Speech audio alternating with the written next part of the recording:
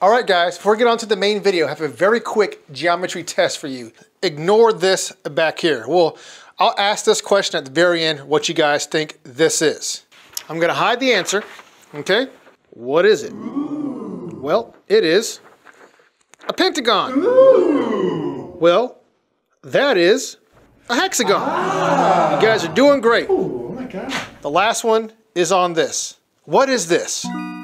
Well, if you guessed a Gen 2 LT1 small block Chevy, you are wrong. Here is the correct answer, a money gone. With that said, let's get to the video.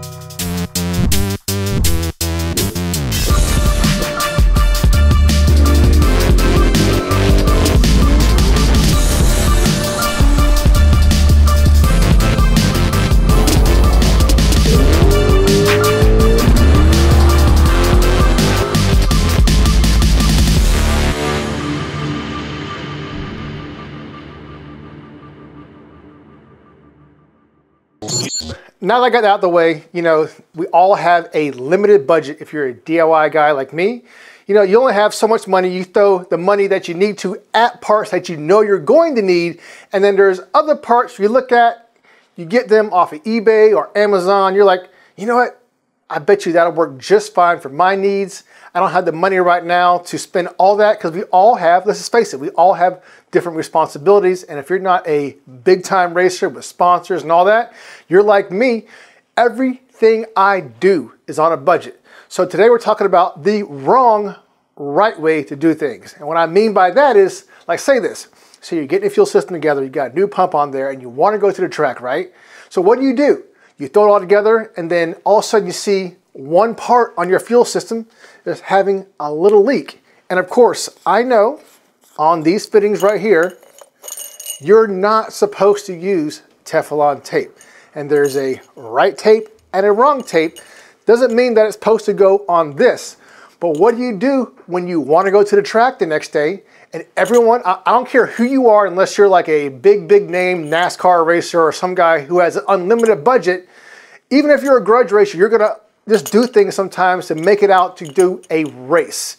I know there's a right way to do it, and I know there's a wrong way to do it, but there is a wrong, right way to do it if you're gonna do this, and that's what we're talking about today. Okay, so I have both right here, and I'm not gonna go and lie to you guys and say I have never used the white stuff that you're not supposed to use on fuel in my fuel system. I have, you know, there has been times where I haven't had this and I've used this, but I've never had a problem because I've put the Teflon tape on these threads the correct way. And I know this is not the correct threads for Teflon tape. I know that, or PTFE, whatever you want to call it. For sake of the video, we're going to use this stuff right here, and I'll show you guys how this will work if you do it correctly. Now, if you look right here, look at that. You can see how that old O-ring right there, that's why it was leaking. See that little slit right there? And that's because you're using cheap China filters you don't feel like spending like, you know, $250 on a name brand filter and you just want to get down the road for $25 on Amazon and these will work, but there is a wrong right way to do this. So first I'm going to show you the wrong way to put this tape on. And this is where majority of the guys I see who say never use it, it'll get caught in your system, blah, blah, blah, blah. It's because they put it on like this. I'm just gonna wrap this guy around, get it up in all the threads. Mm-hmm. You know, I got it going the right way. Heck yes, that's gonna seal up, right? Let's go ahead and put it into the filter body. Man, let's go drag racing, baby. Okay, see, outside looks good. Turn on the pump. It's not leaking, but let's look in here. Oh! Oh my God. See all that stuff in there? all that crap hanging out, guaranteed that after a while, that fuel flows in there and that fuel gets on that tape right there. Doesn't matter if it's even fuel resistant, that it will come off and clog something. And I can guarantee you 99.9% of the time that anyone has ever complained about Teflon tape getting clogged in their system, it is because they've installed it like that. So let's go ahead and install this the correct way. All right, so it's time for the correct way. The easy way, I mean, I did put it on the um, correct direction. If you put it on this direction right here, like this, and then you get on your threads, and if you go ahead and start screwing it in, see how it's gonna start peeling the stuff back?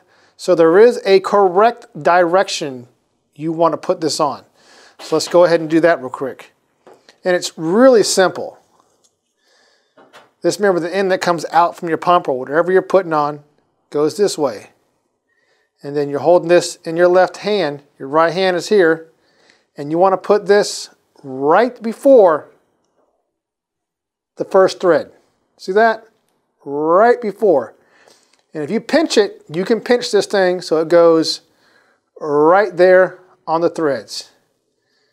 And you can go ahead and just pull that back like this off your O-ring so no one will know that you got tape on there.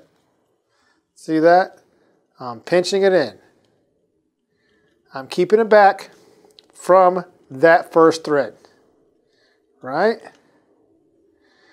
All right, we got more than enough on there that we need to seal that guy up. Go ahead and run a couple times. See that? Now I'm going to screw this guy in there.